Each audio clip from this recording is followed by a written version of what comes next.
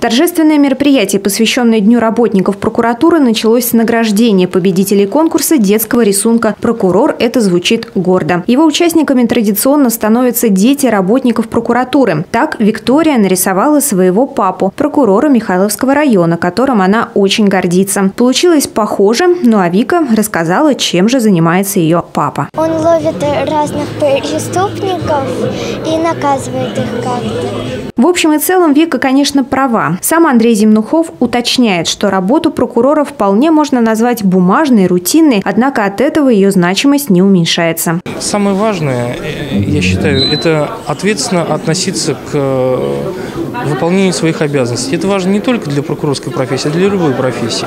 Потому что я полагаю, что самое э, нежелательное в нашей жизни, в нашей деятельности – это безразличие. А мы работаем с людьми, решаем их проблемы.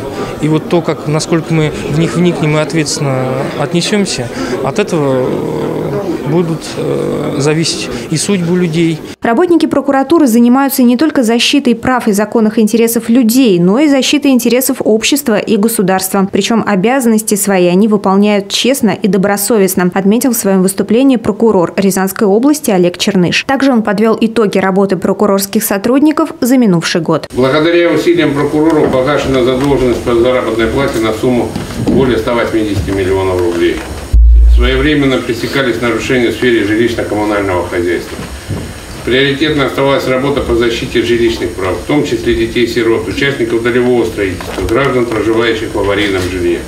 Все те, кто добросовестно выполнял эту работу на протяжении года, получили награды из рук прокурора Рязанской области. Также через видеообращение поздравил работников прокуратуры генеральный прокурор России Юрий Чайка, а губернатор Рязанской области Николай Любимов сделал это лично. Кроме того, он наградил отличившихся сотрудников почетным знаком за заслуги перед Рязанской областью. Особого внимания в этот день удостоились ветераны. Среди них Виталий Толстов, участник Великой Отечественной войны. После окончания войны он служил в разведке разведки, затем в военной прокуратуре в разных уголках нашей страны, в том числе и в Тбилиси. Мне пришлось быть помощником прокурора Тбилисского гарнизона, где я поймал 90 этих жуликов, арестовал их, которые незаконно освободили 96 человек.